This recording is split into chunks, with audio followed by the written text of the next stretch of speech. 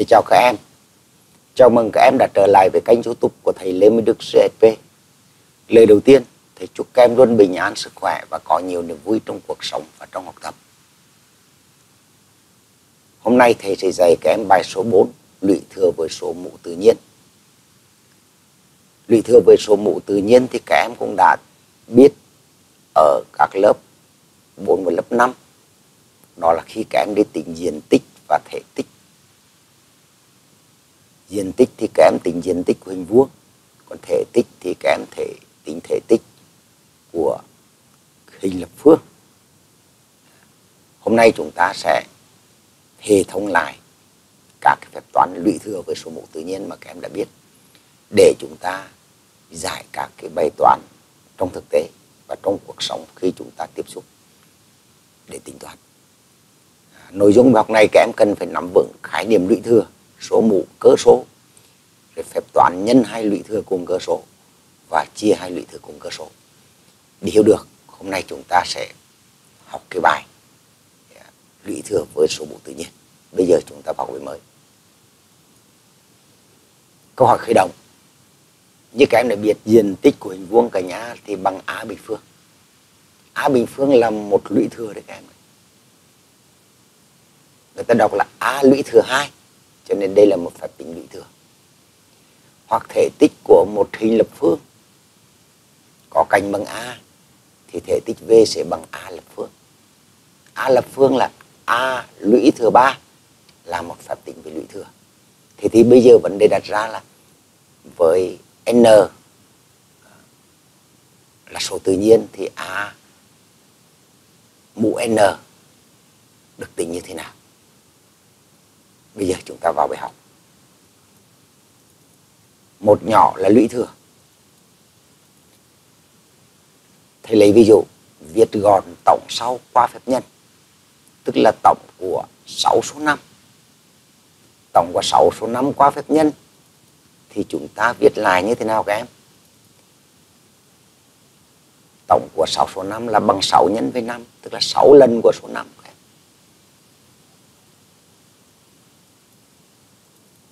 thì bây giờ đối với phép nhân. Khi này là chúng ta đang nói về phép cộng bây giờ đối với phép nhân là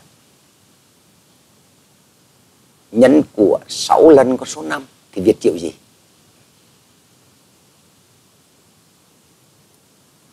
Thì ta viết là 5 mũ 6 như vậy ở trên này phép cộng thì các em chuyển qua phép nhân của 6 nhân 5 còn dưới này là phép nhân thì các em chuyển qua phép lũy thừa năm mũ sáu. Như vậy các em thấy nó khác nhau hoàn toàn ở bản chất của phép cộng phép nhân như vậy là các em. Vậy thì ta sẽ viết là tích của 6 lần cosine 5 thì bằng 5 còn cái số mũ ở trên này này, gọi là mũ 6 gọi là đọc là 5 lũy thừa 6 cho nên đây gọi là lũy thừa là vậy các em. Vậy thì cái phép nhân n thừa số bằng a, tức là a nhân a nhân a nhân chấm chấm nhân a mà kém đếm a là số thứ nhất đến a số thứ hai. Chứ đến a số cuối cùng này này là có n n số. N số tham gia trong phép nhân thì người ta gọi là n thừa số a. Thì kết quả là chúng ta viết lại là a. Rồi ở trên cái đầu chữ số a thì chúng ta viết n tức là n nằm ở phía mũ của cái số A này. Nằm trên đầu các em trên đầu. Và cái N này người ta gọi là số mũ. Còn A này người ta gọi là cơ số đấy các em. Thì cái phép tính A lũy thừa N này này thì người ta gọi là phép nâng lên lũy thừa. À, cách viết thì các em để ý cách viết nhá. À, cách viết bằng chữ thì các em viết A này. Trên đầu chữ A bên phải á, thì các em viết chữ N nhỏ một tí. À, ví dụ như năm này à, trên đầu chữ số 5 các em viết số 6 ta đọc là 5 lũy thừa 6 dưới này ta đọc là a lũy thừa n, cho nên nó gắn liền với cái khái niệm lũy thừa là vậy đó các em. Bây giờ chúng ta sẽ làm một cái bài toán khởi động để tìm hiểu kiến thức mới. Bài toán khởi động để tìm hiểu cái kiến thức mới. Thứ nhất, đó là viết gọn các tích sau bằng cách dùng lũy thừa. Như vậy chúng ta dựa vào cái cách như lúc nãy chúng ta viết để để chúng ta làm cái bài này. Bây giờ chúng ta giải câu A. 5 x 5 x 5 là tích của 3 lần con số 5 đó các em. Tích của 3 lần có số 5 thì các em viết là bằng 5. Rồi vì đây có 3 số 5 cho nên các em viết số 3 ở trên đầu của số 5. Gọi là 5 lũy thứ 3. Em viết vậy. 5 x 5 x 5 thì bằng 5 này. Các em viết lại số 5 này. Và số 3 này là lấy ở đâu? Các em đếm 1 số 5, 2 số 5, 3 số 5 tích 3 số 5 thì các em viết số 3 ở cái số mũ của 5 và ta đọc là năm lũy thứ ba. Như vậy các em việt thấy rằng là cách việt ở bên phải nó gọn hơn, ở bên trái rất nhiều. Đúng không đây là một cái ký hiệu của toán học các em cần lưu ý. Bây giờ sang câu B, là tích của 6 lần số 7 tích của 6 lần số 7 thì tương tự như vậy các em Việt bằng 7 lũy thừa 6. 7 các em viết lại. Số 6 này là tích của 6 lần con số 7 thì các em biết số 6 ở trên đầu. Như vậy thì từ đây chúng ta hiểu như sau. Chúng ta đã có một kiến thức mới được hình thành. Đó là lũy thừa bậc n của A được ký hiệu là A mũ n thế này, này là tích của n thừa số bằng a mà như lúc nãy thầy nói người ta gọi là lũy thừa bậc n của a tức là lũy thừa bậc n của a hoặc là a lũy thừa n, thì bằng tích của n thừa số bằng a này các tức là trong phép tính nhân ở với phải là có n thừa số, mà mỗi thừa số đều bằng a thì người ta gọi là n thừa số bằng a. Với điều kiện ở đây là n là số tự nhiên không được bằng không cả. N phải khác không? Có nghĩa là n ở trong cái cái kiến thức này là một, hai, ba, bốn, năm, sáu, bảy, tám, chín, mười, vân vân. Và đó chính là cái khái niệm mà các em cần phải hiểu để chúng ta giải toán. Nó chính là kiến thức cơ bản của cái mục này. Bây giờ chúng ta đọc như sau. A lũy thứ n thì chúng ta đọc đó là một cách đọc đó. A lũy thừa n là một cách đọc đó các em. Bây giờ chúng ta đọc cách khác này. Ta đọc là a mũ n. Thường là chúng ta đọc a mũ n là nhanh nhất. Bởi vì nó chỉ có ba cái từ thôi. Hay chúng ta có thể đọc là a lũy thừa n. Hay đọc là lũy thừa bậc n của a này. Trong cái kiến thức mà chúng ta vừa hút lại lũy thừa bậc ân của a chúng ta có ba cách đọc a gọi là cơ số. A này gọi là cơ số. Và n gọi là số mũ. Cơ số là cơ số của lũy thừa. N gọi là số mũ của lý thừa. Nhưng mà thôi, thầy gọi ngắn gọn như vậy để chúng ta nắm được. Bây giờ chú ý này. Thứ nhất đó a mũ 2 thì chúng ta thường đọc thế nào các em chúng ta đọc là a bình phương. Hoặc đọc cách kiểu gì nữa các em hoặc đọc là bình phương của a. Như vậy là đây là cái ký hiệu chúng ta gặp rất là nhiều, cho nên chúng ta đọc như vậy. A mũ ba, thì chúng ta đọc là tương tự như trên, là a lập phương, a lập phương. Hoặc chúng ta có thể đọc cách khác là lập phương của a. Như vậy là khi gặp a bình phương và a lập phương thì chúng ta nhớ là đọc như vậy. Bây giờ thầy hướng dẫn kém sử dụng máy tính để kém bấm cái 5 mũ 3 này bằng bao nhiêu? Và 7 mũ 6 này bằng bao nhiêu? Thì bật máy tính lên các em. Chúng ta dây dùng chế độ menu 1 nha các em. Menu 1 đây các em này. À, các em nhấn chữ stop, các em nhấn số 1 là có menu 1 ví dụ các em muốn là nhập là 5 bình phương đi thì bây giờ thầy nhập năm này, bình phương thì các em có chữ x này, các em nhân với x này. Năm bình phương.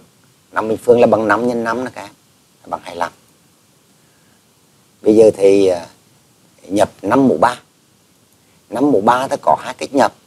Cách nhập thứ nhất là 5 thì chúng ta nhập vào cái x ở trên nó có ô vuông này, để chúng ta tiếp tục nhập số 3 5 mũ 3 tức là 5 nhân 5 nhân 5 là bằng 125 cách nhập thứ hai của năm mũ 3 thầy xóa. Các em nhập năm này để các em thấy à, dưới cái chữ màu vàng của x bình phương là có mũ 3 không? Thì các em tương ứng, các em nhận ship màu vàng đấy. Ship, các em nhận vào đây. Là có năm mũ 3 như vậy là năm mũ 3 thì chúng ta nhập như vậy, năm bình phương chúng ta nhập như vậy. Bây giờ qua năm mũ 4 trở đi, thì phải nhập kiểu này các em. Chẳng hạn như là 7 mũ 6 chẳng hạn thì nhập 7 mũ 6 xóm này hình 7 mũ 6 mũ 6 thì buộc các em phải nhập x vuông này này. Sau đó các em nhập mũ 6 và các em sẽ tính được. Máy tính sẽ tính được cho chúng ta là 7 mũ 6 thì nó sẽ bằng 117.649 như vậy là các em biết cái cách nhập cái phép tính lũy thừa trên máy tính. Để chúng ta tính cái kết quả của lũy thừa. Bây giờ chúng ta làm bài tập thực hành thứ nhất.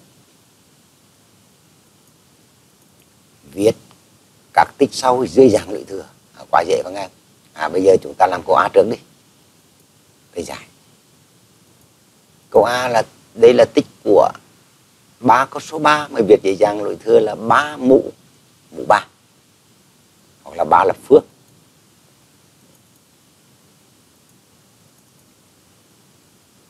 ba lập phương bằng bao nhiêu các em. 3 nhân 3 nhân 3 3 nhân 3 là 9 9 nhân 3 là 27 các em. Các em phải nhớ 3 mũ 3 bằng 27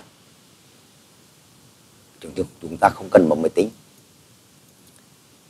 Để biết tiếp là 6 nhân 6 nhân 6 đây là tích của bốn con số 6 thì bằng 6 là cơ số đúng không rồi mũ 4 6 mũ 4 khi các em viết thì các em lưu ý rằng là 3 nhân 3 nhân 3 là cơ số 3 tích của 3 số 3 thì các em viết cái số mũ là số 3 6 nhân 6 nhân 6 nhân 6 thì cơ số là số 6 còn số mũ là các em đếm. Có 4 số 6 nhân lại thì mũ là mũ 4 như vậy viết, như vậy là gọi là viết dễ dàng lũy thừa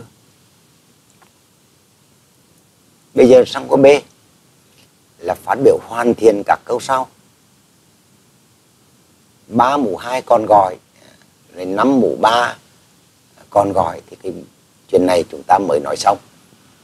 Bây giờ chúng ta bắt đầu đi trình bày câu B câu B ba mũ hai đọc là thế nào các em? Tức là còn gọi, tức là đọc đấy. Ba bình phương. Hay là gì? Bình phương của ba. Của ba là của số ba đó.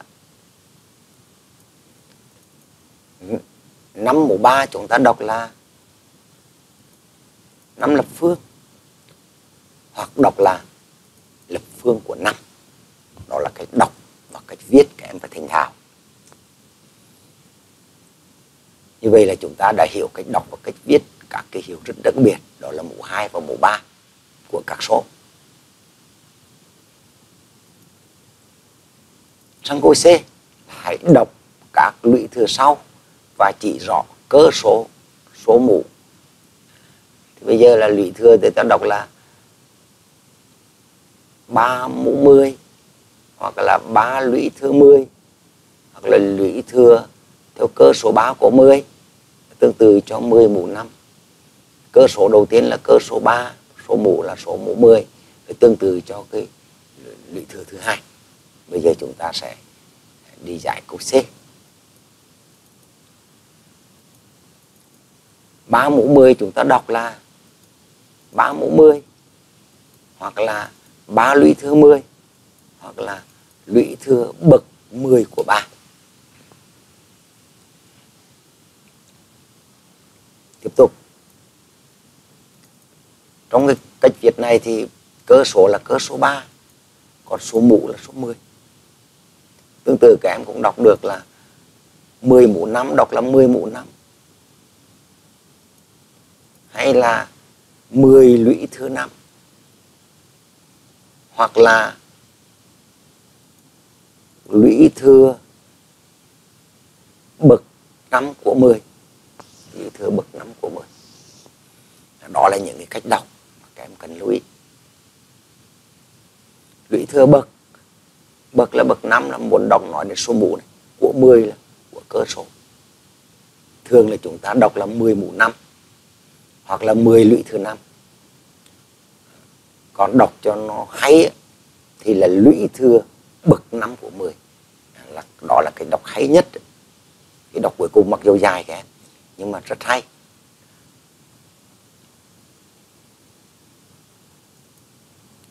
Và trong cái 10 mũ năm này thì cơ số là cơ số 10 còn số mũ là số 5 như vậy là chúng ta đã thực hiện cái thực hành một ờ, qua cái kiến thức cơ bản mà chúng ta vừa nói. Bây giờ chúng ta sang cái mục thứ hai là nhân hai lũy thừa cùng cơ số. Hoạt động khám phá thứ hai các em này, để các em tìm hiểu cái kiến thức mới thông qua cái hoạt động này đấy. Viết tích của hai lũy thừa sau thành một lũy thừa. Thì các em thấy là ba thì người ta quy ước là ba mũ một đấy các em. Ba mũ một thì bằng ba. Đây là tích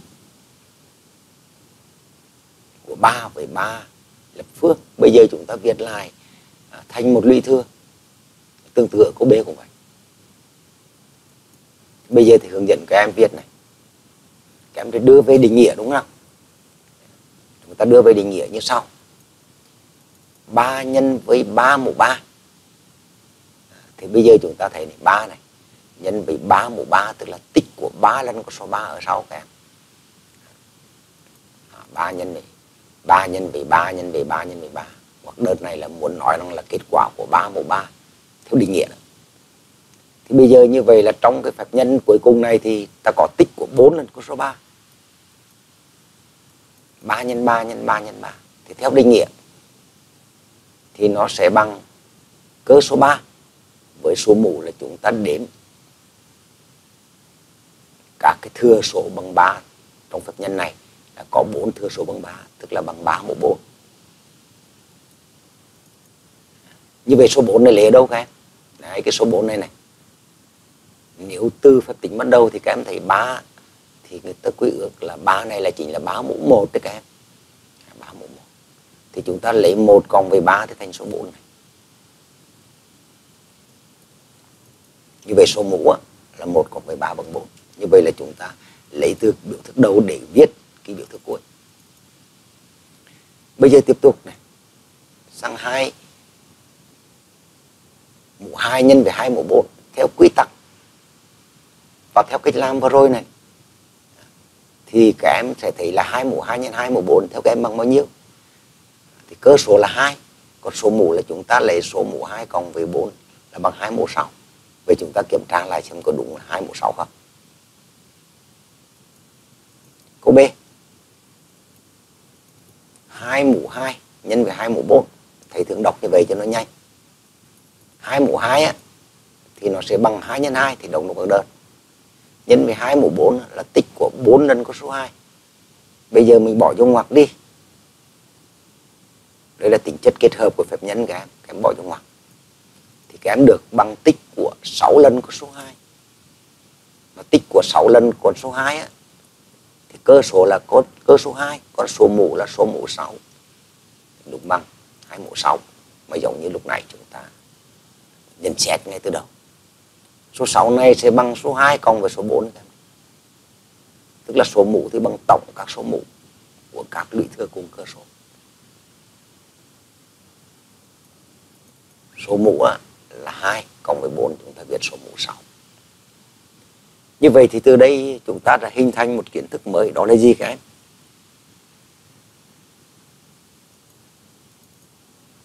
Kiến thức cơ bản của cái phần này đó là gì? Khi nhân hai lũy thừa cùng cơ số thì ta giữ nguyên cơ số và cộng các số mũ. Thì như, như vậy chúng ta được à, một phép nhân hai lũy thừa cùng cơ số. Công thức là a mũ m nhân với a mũ n sẽ bằng a mũ m cộng n.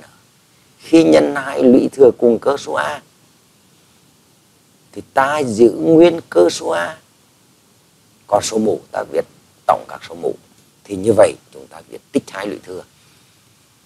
Cùng cơ số về một lũy thừa. Với cơ số đó còn số mũ thì bằng tổng các số mũ bây giờ chúng ta làm bài tập thực hành hai. Để vận dụng thì kiến thức vừa rồi. Viết các tích sau dưới dạng một lũy thừa như vậy là đây là tích các lũy thừa cùng cơ số này. Cái tích đầu tiên là cơ số 3 này. Cái tích thứ hai là cơ số 10 này. Cái tích thứ ba là cơ số x, là bằng chữ cái cái chữ x này có thể bằng à, không, một, hai, ba, bốn, năm, sáu, bảy, tám, chín, mười, tức là các số tự nhiên này. Bây giờ chúng ta giải.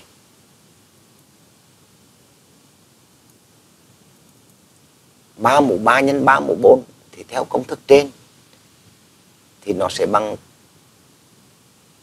ba mũ ba cộng bốn.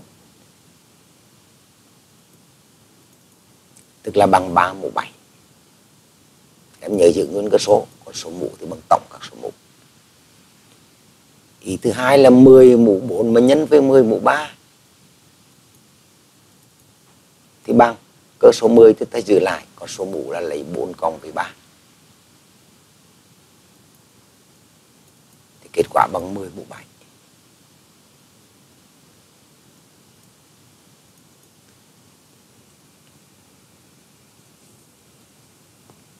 như vậy là chúng ta viết về dạng một lũy thừa. Từ hai lũy thừa thì chúng ta viết về dạng một lũy thừa. Bây giờ sang à, ý thứ ba. X mũ 2 nhân x mũ 5 x này đóng vai trò là cơ số các em. Thì chúng ta viết lại bằng. Chúng ta giữ nguyên cơ số x. Và số mũ thì bằng tổng số, các số mũ. Đó là x mũ 2 cộng với 5 thì bằng x mũ 7 như vậy chúng ta đã thực hành xong. Phép nhân hai lũy thừa cùng cơ số còn khác cơ số làm không được nghe các em khác cơ số chúng ta sẽ học sau. Có thể được, có thể không được, nhưng mà các phép tính đó chúng ta chưa biết. Bây giờ chúng ta chỉ dừng lại là phép nhân hai lũy thừa cùng cơ số. Bây giờ chúng ta qua cái mục ba nhỏ là chia hai lũy thừa cùng cơ số thì làm như thế nào? Bây giờ chúng ta làm câu hỏi khởi động thứ ba từ, từ câu hỏi đồng câu câu hỏi này á thì chúng ta sẽ hình thành một kiến thức mới các em đó là cách chia hai lũy thừa cùng cơ số thì làm như thế nào. Cho nên các em khi làm những cái phần này các em phải rất, rất tập trung để chúng ta tìm hiểu cái lời giải để chúng ta tổng quát cái kiến thức đó lên. Câu A là từ phép tính. 5 mũ 5 nhân với 5 mũ 2 thì bằng 5 mũ 7 em hãy suy ra kết quả của bộ phép tính. 5 mũ 7 chia cho 5 mũ 2 và 5 mũ 7 chia cho 5 mũ 5 và giải thích. Như các em đã biết rằng ừ, nếu chúng ta có tích của hai thừa số và chúng ta tìm được kết quả của tích thì mỗi thừa số thì lấy tích mà chia cho thừa số còn lại. Ở đây 5 mũ 5 mà nhân về 5 mũ 2 bằng 5 mũ 7 thì cái thừa số 5 mũ 5 này chắc chắn là bằng 5 mũ 7 mà chia cho 5 mũ 2 có phải không em và cái thừa số 5 mũ 2 này thì sẽ bằng 5 mũ 7 mà chia cho 5 mũ 5 cho nên cái phép tính này các em đã biết rồi thì bây giờ chúng ta giải câu A trước câu A 5 mũ 5 nhân với 5 mũ 2 thì như các em đã biết là chúng ta giữ lại cơ số 5 hoặc số mũ thì chúng ta cộng các số mũ thì nó sẽ bằng 5 mũ 7 như đề toán đã cho. Thì từ đây chúng ta suy ra. Cái thừa số thứ nhất đó, muốn tính 5 mũ 5 thì các em lên 5 mũ 7 mà chia cho 5 mũ 2 bây giờ các em nhìn vào đây này. Nói về số mũ này. Là lấy 7 trừ cho 2 kém được 5 còn cơ số 5 kém giữ lại. Tức là em giữ nguyên. Bây giờ qua cái phép tính thứ hai là 5 mũ 7 chia cho 5 mũ 2 5 mũ 7 mà chia cho 5 mũ 5 thì kết quả là chắc chắn là bằng 5 mũ 2 rồi. Vì trong phép tính này các em đã biết. Thì nói thêm chỗ này. Đấy, số mũ là số mũ 5 bên này này bằng 7 trừ cho 2 bây giờ tiếp tục. 5 mũ 7 mà chia cho 5 mũ 5 thì chắc chắn là bằng 5 mũ 2 rồi, bởi vì trong phép tính này là như thế. Phép tính nhân chúng ta chuyển qua phép tính chia kìa. như hôm trước thầy đã nói với các em. Bây giờ thầy muốn nói cái số mũ 2 này này, sẽ bằng số mũ 7 mà trừ cho số mũ 5 thì như vậy các em đã hiểu phép chia hai lũy thừa cùng cơ số chứ. Phép chia hai lũy thừa cùng cơ số. Thì chúng ta viết lại cơ số. Còn số mũ thì chúng ta viết thành hiệu các số mũ trước và sau của các lũy thừa. Nói như vậy cho nó nhanh. Mà nó cũng gắn liền với hình ảnh câu B hãy nhận xét về mối quan hệ giữa số mũ của lũy thừa vừa tìm được với số mũ của lũy thừa của số bị chia và số chia trong bộ phép tính trên. À, như vậy là chúng ta thầy mới nói với các em xong bây giờ chúng ta viết lại cái nhận xét này cho nó gọn thôi. Số mũ của thương trong phép trong phép chia này thì năm mũ năm và năm mũ hai gọi là thương. Thì bằng hiệu các số mũ của số bị chia và số chia. Hiệu số mũ của số bị chia và số chia. Tức là nói đến số mũ của thương, thì chúng ta lấy hiệu các số mũ từ trái qua phải.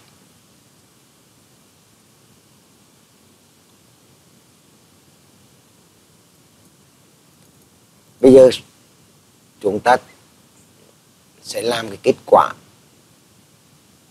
dự đoán kết quả của phép tính sau này. Từ cái nhận xét để chúng ta dự đoán kết quả.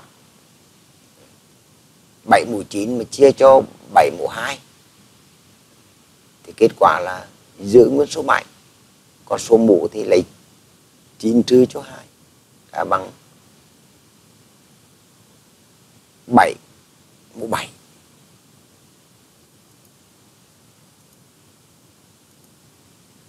mà 7 mũ 7 thì các em tính ra là được à, 823 nghìn.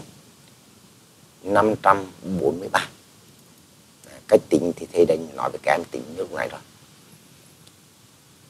vì sao phép tính này đúng hay sai các em? Đúng bởi vì là 7 mũ 9 mà chia cho 7 mũ 2 thì bằng 7 mũ 7 thì điều này chúng ta chuyển qua phép nhân có nghĩa là 7 mũ 9 sẽ bằng 7 mũ 2 mà nhân với 7 mũ 7 mà 7 mũ 2 nhân với 7 mũ 7 thì luôn luôn bằng 7 mũ 9 với cái, cái kết quả này là một phép tính đúng cho nên ở, ở trong cái đề ra nói là từ nhận xét đó hãy dự đoán kết quả của một phép tính sau.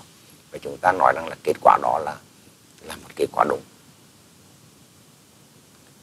Bây giờ tiếp này 6 mũ 5 chia 6 mũ 3 6 mũ 5 chia cho 6 mũ 3 thì theo cái cách hiểu ở câu A thì là nó sẽ bằng 6 mũ 5 trừ cho 3 là bằng 6 mũ 2. Mà hiểu qua phép nhân, thì 6 mũ 5 này bằng 6 mũ 3 mà nhân với 6 mũ 2. Mà 6 mũ 3 nhân với 6 mũ 2 thì bằng 6 mũ 5. Vì chúng ta đã biết cái kiến thức cơ bản đó rồi. Mà 6 mũ 2 thì bằng 36. 7 mũ 7 thì các em nhập trên máy tính nha các em đây là 716 chúng ta sửa lại tí này.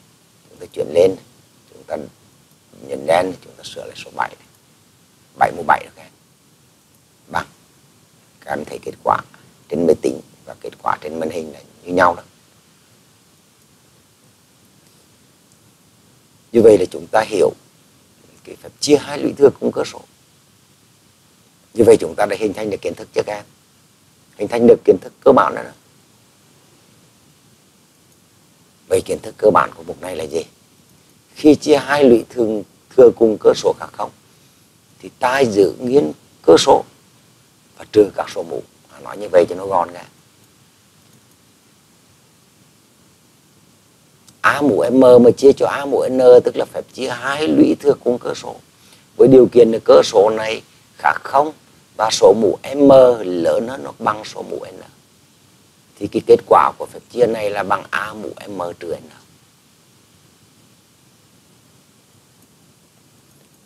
bây giờ ta quy ước là a mũ không bằng một thì các em. A mũ không bằng một. Đó là quy ước như các em. Tại sao như vậy thì lên lập trên thầy sẽ giải thích cho các em. Còn a mũ một thì bằng a. Như vậy chúng ta được hình thành được cái kiến thức cơ bản về phép chia hai lũy thừa cùng cơ số khác không? Lưu ý cho thầy là phép chia hai lũy thừa cùng cơ số khác không? Và số mũ của số bị chia phải lớn hơn số mũ của số chia. Thì mới thực hiện được phép tính. Bởi vì chúng ta đã còn học trên tập hợp các số tự nhiên. Cho nên là số mũ m sẽ lớn hơn bằng số mũ n. bây giờ chúng ta làm bài tập thực hành số 3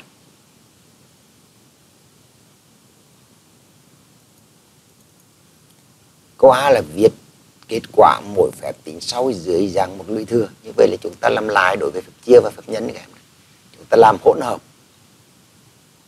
Rồi sang câu B chúng ta sẽ sau. Bây giờ chúng ta giải câu A trước. Câu A là có bộ phép tính. Phép tính thứ nhất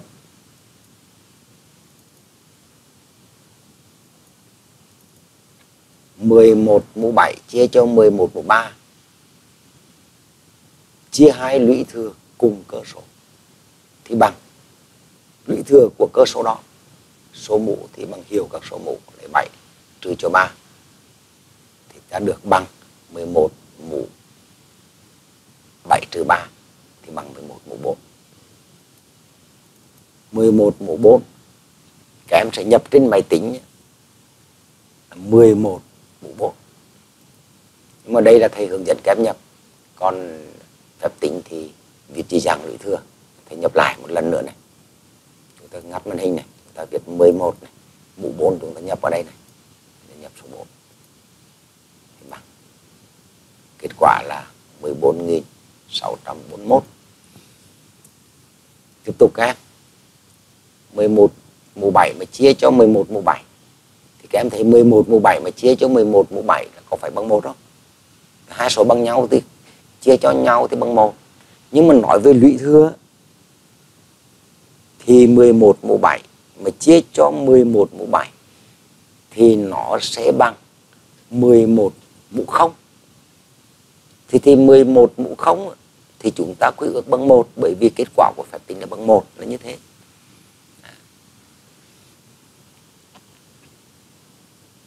Cho nên người ta quy ước A một không bằng một là như vậy các em.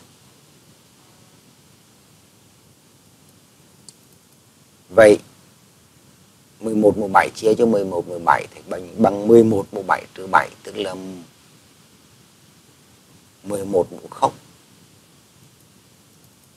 Bằng 11 mũ 0 thì bằng 1.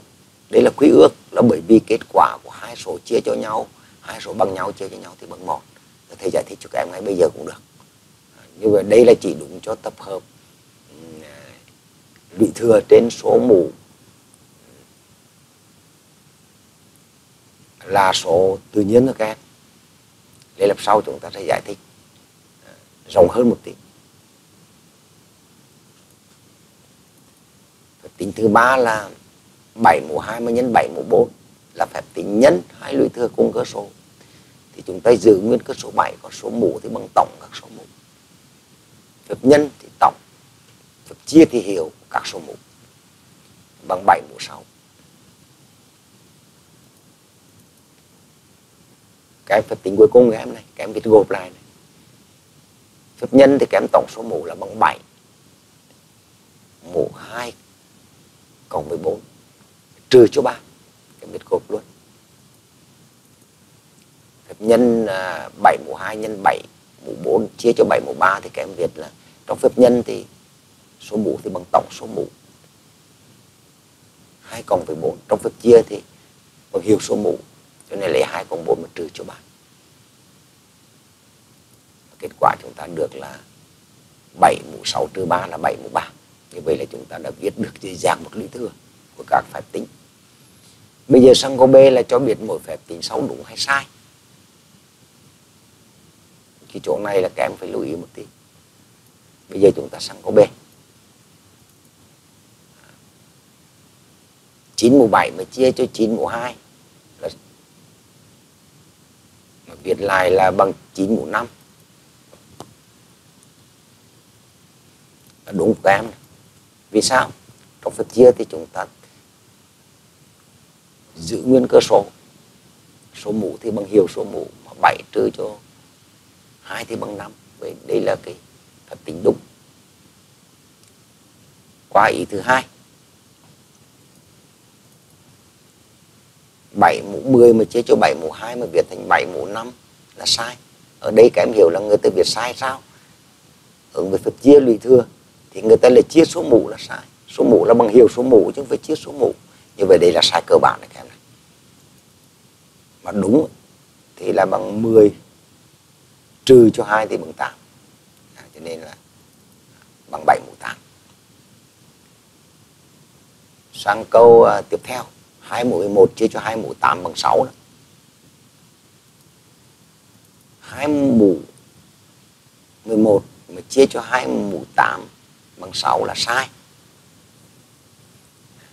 Tức là các em hiểu vì sao sai không? Phép tính này sai chỗ nào không? 2 mũ 11 mà chia cho 2 mũ 8 thì bằng 2 mũ 11 mà trừ chỗ 8 là 2 mũ 3. 2 mũ 3 mà làm 2 nhân 3 thì trật rồi. 2 mũ 3 là bằng 2 nhân 2 nhân 2 là là bằng 8 các em ạ. Thì khi như vậy mình nó mới đúng. Như vậy đó số 6 là sai. Như vậy là ờ, thay vì phép tính nâng lên lũy thừa 2 mũ 3 thì lấy 2 nhân 3 là trật đúng không? 2 mũ 3 thì sẽ bằng 2 nhân 2 nhân 2 là bằng 8. Như vậy kết quả này phải bằng 8 chứ. Kết quả là 2 mũ 3 thì bằng mà trong này là cái người viết là lấy 2 nhân 3 là bằng 6 các em lưu ý là các em hay nhầm chỗ này chỗ này nhất đó. Chỗ này là các em cứ nhầm biết cái chỗ này cho nên thầy nhắc lại vậy để đừng có sai. Nhưng mà nhầm cái chỗ này thôi. Hai mũ ba thì các em viết hai nhân ba là bằng 6 nhưng mà bảy mũ tám thì các em không viết bảy nhân tám đâu. Các em nhầm những cái số nhỏ chứ không phải nhầm cái số lớn. Tiếp tục các em. Năm mũ sáu mà chia cho năm mũ sáu. Thì là kết quả là bằng 5 mũ 6 trừ 6 là 5 mũ 0 mà 5 mũ 0 thì bằng 1 như vậy là kết quả bằng 5 là sai. Và đúng thì phải là 5 mũ 0 bằng 1 như vậy là thầy giải thích cho các em. Luyện tập cái thực hành số 3 như vậy thì bài học hôm nay đã kết thúc. Qua bài này thì các em cần nắm được khái niệm về lũy thừa nhân phải chia lũy thừa cùng cơ số Video kế tiếp, thầy tiếp tục sửa cái bài tập của bài số 4. Các em nhớ đăng ký kênh và bấm chuông để tiếp tục theo dõi cái bài tập phần này. Đây là những kiến thức quan trọng, cơ bản khi các em học về số tự nhiên. Cuối cùng, thầy chúc các em luôn bình an, sức khỏe và có nhiều niềm vui trong cuộc sống và trong học tập. Hẹn gặp lại các em trong các video tiếp theo. Chào tạm biệt các em.